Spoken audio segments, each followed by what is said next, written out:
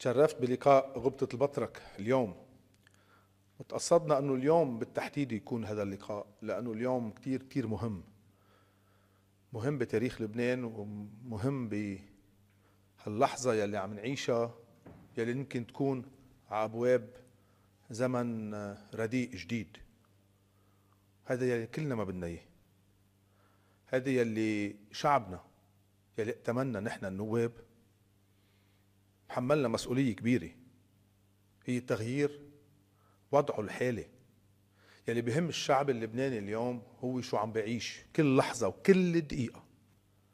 ويلي شايفينه اليوم أنه التحرك يلي عم نروح نحو فوضى جديدة ومن نوع جديد. وهذه الفوضى في كتير ناس بتفكر إنه معقول تكون فوضى خلاقة لنظام جديد. أنا قلقي إنه هالفوضى تكون فوضى قاتلة قاتلة بكل معنى الكلمة اللي ما يتبقى من لبنان اللي بنعرفه.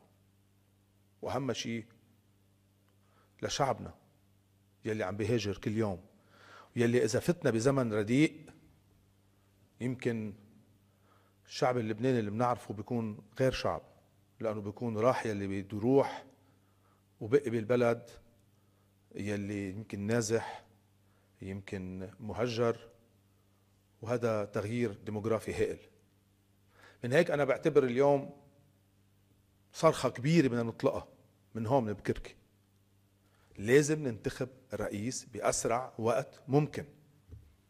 هذا شيء نحن كنواب باسم شعب يلي انتخبنا يلي نحن بس بنتحاسب منه لا من كتلنا ولا من أحزابنا.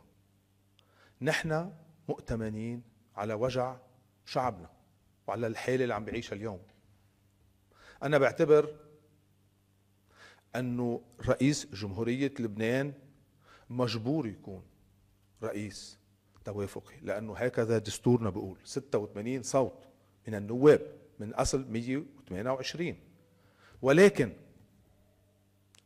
هذا مش مستحيل. لأنه أنا بعتبر أنه في مواضيع أساسية متفقين عليها بلبنان اليوم. متفقين على وجع الناس وعلى الوضع المالي اللي عم نعيشه على انهيار الليرة. متفقين على الوضع المزري للمستشفيات والجامعات. متفقين على كيف مؤسسات الدولة اللبنانية عم تنهار أمام عيوننا. وما بقى في شيء وراء بمؤسسات الدولة غير أنه ما بقى في قطع غيار للسيارات. كله هيدا متفقين عليه. يمكن حتى متفقين بالطائف على اللامركزية الموسعة. متفقين على مجلس الشيوخ. كل هالمواضيع مش كافية لنجيب رئيس بوضع يقدر يشتغل على هذا المواضيع يلي متفقين عليهم. ونخلي المواضيع الخلافية نكفي فيها لبحث بهذا العهد.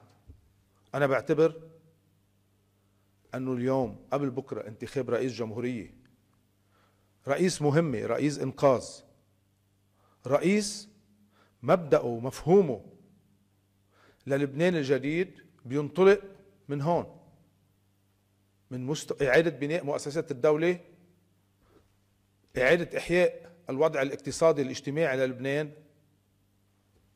مجلس مجلس الشيوخ لا مركزية وأهم شيء أهم شيء مفهومنا للبنان يلي بعمقه العربي بعمقه البحر الأبيض المتوسط بعمقه ومفهومه الحيادي بامتياز.